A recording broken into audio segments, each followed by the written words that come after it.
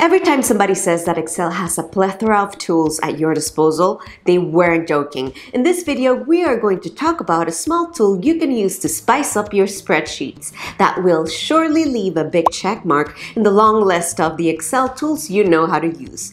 This video is all about check boxes.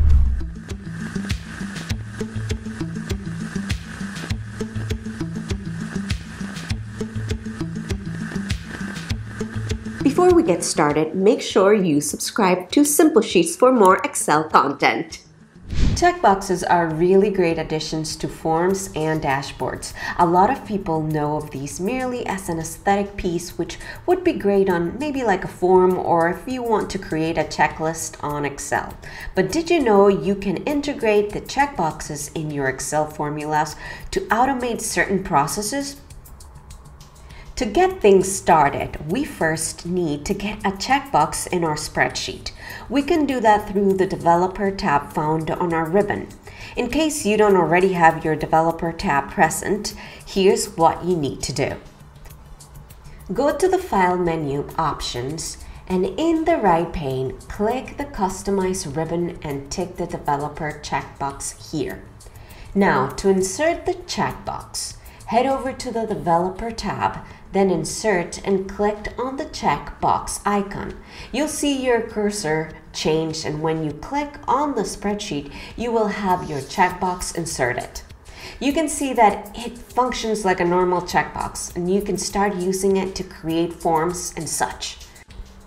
To take these a step further, we can link them to cells so that whether they're ticked or not, they return a true or false value. To do that, right-click on the checkbox and select Format Control.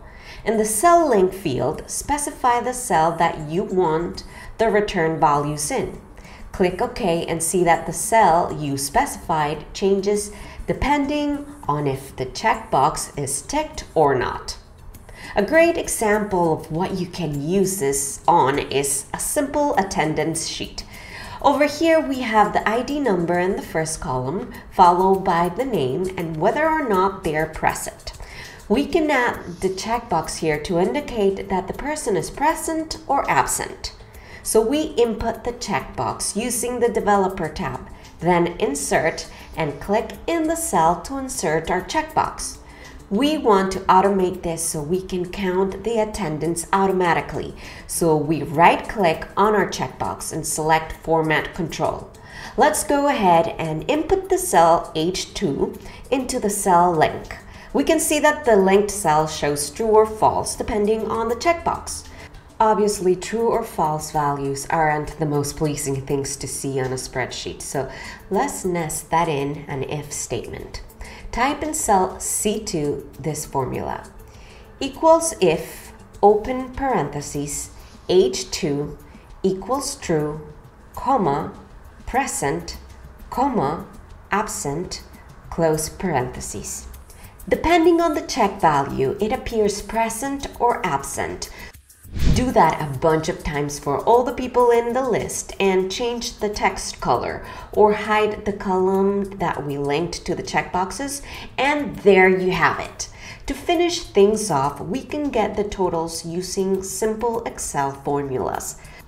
To get the total number of students, we can use the COUNTA function, which basically counts all the values in a cell reference. To get the total number of present and absent, we can use the COUNTIF function, which counts the instances that a specified value occurs.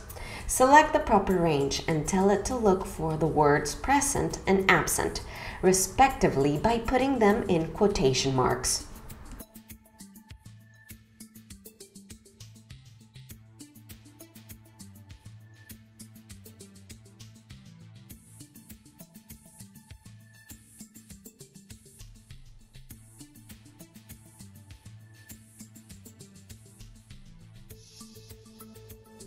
There are countless ways that you can use checkboxes in your spreadsheets. You can use them for aesthetic purposes or add a dash of useful automation to them. You know what else is even better? Having the checkboxes already there in your dashboard. A great example of this is our invoice template, wherein you can create checkboxes for your invoice sheets so that all you have to do is print the sheet out. Be sure to check Simple Sheets and see all our automated dashboards go to work just for you. If you found this video useful, make sure you leave a like on this video and make sure you subscribe to Simple Sheets for more Excel content. I'll see you guys on the next one.